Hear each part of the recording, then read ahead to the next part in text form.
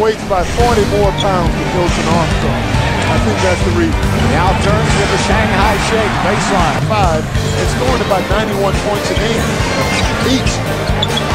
Now with the basket. Come to play in this game as they go back to Yao now. Working on Marks. Gives it up to Lowry for the layup. Just like Shane Battier does. Now to Yao Ming now working inside. Shanghai Shake for two. Working on Ely again.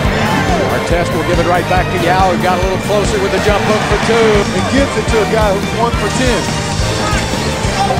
Oh, block shot.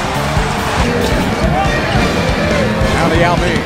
Now working down the baseline. Raise it up and in. But he's a shooter. Well, don't worry. Uh, if you're matched up with him in the playoffs, he'll be shooting. Yao Ming. No, absolutely no, no ego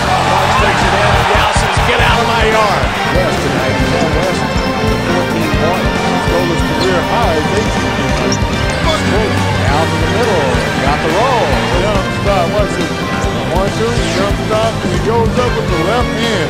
Still makes it. How many centers can do this?